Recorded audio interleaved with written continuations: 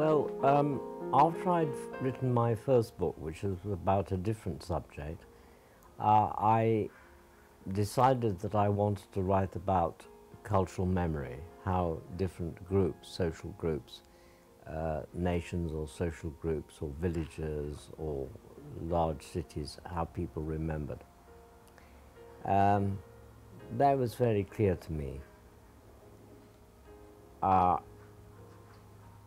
the first thing about that which was clear to me was this that uh, although at that point, when I wrote, before I wrote my first book on cultural memory, not many people had written about uh, the subject, although now, a quarter of a century later, an enormous many, large number of people have written books and articles about aspects of cultural memory. At that time, it was not much written about, but those who had written about it, either explicitly or implicitly, had tended to argue that insofar as societies or cultures succeeded in transmitting memories this was primarily by means of uh, either oral accounts, particularly, for example, in Africa, uh, or alternatively, uh, by written accounts, by texts, by books. Um, so, in other words, it was by words that people remembered, according to how people thought at that time. And I thought this was a very uh, partial and rather limited uh, explanation of how it was that cultures remembered. That words were less important than people actually thought. And that what was really important is uh, the actions, the practices, the customs, the traditions of the human body. What was not spoken. I think hard about that. I think very hard, for example, about the actual uh, sequence and structure of my argument. I, I, how, how I can best explain to the reader by beginning at a certain point, which will be the, the, the optimum point at which to begin the argument, to begin the explanation, and how that would lead best through certain stages, A, B, C, D, until I reach the conclusion of the argument I'm trying to persuade the reader of. And I'm all the time aware of trying, therefore, to persuade the reader uh, of what I believe myself.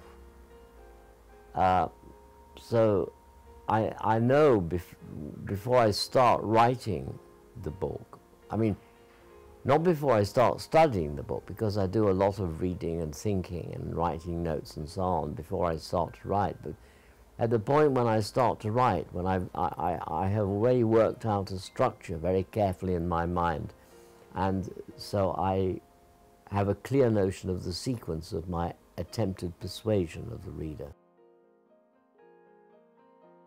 people say about my, my work is that I, I more or less don't waste a single sentence. That I, I, everything that's in the book just has to be in the book. It's, I mean, some books written by some scholars, I really must say, contain far much more material than the reader really needs. Before I send it to a publisher, I ask uh, two or three friends to read it so they've already, I've already incorporated any suggestions that an intelligent person might think of to say in relation to what I want to say. So that's, that process has already been gone through before the, the editor of the press sees it.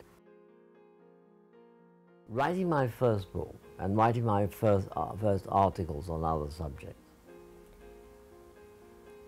this was very, very stressful, I found. I mean, to, to illustrate just how stressful it was, I, of course, concentrated as hard as I could to try and make it as good and as precise and as intelligent as I could manage. And at that time, in doing so, while I was writing my, I was concentrating emotionally so hard that my fingers used to perspire with sweat at the effort. This never happens now. It hasn't happened for years. Well, there was certainly one person at the beginning who was a great help. Uh, as I say, I wanted to write about um, uh, the memory of cultures.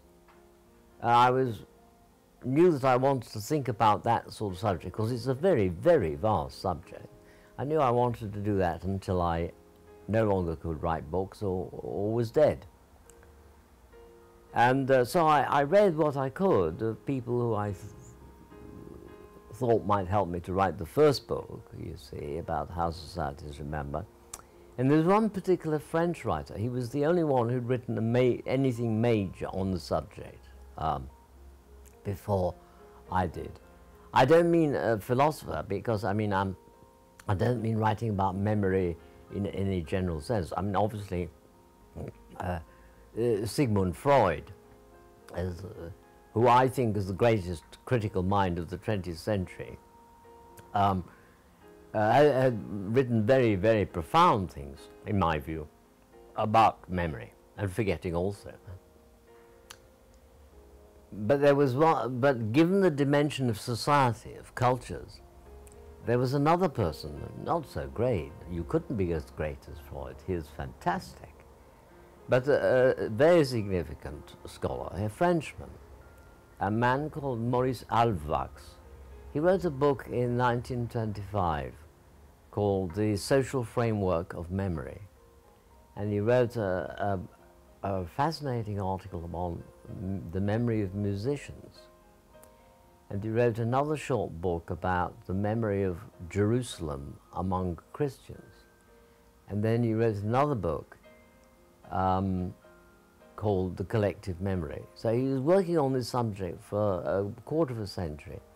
And this had a profound influence on me. So I, um, uh, so he certainly, more than anyone else, stimulated me to do this. I would only add one thing, and that is that I naturally thought, well, is there anything he's left out?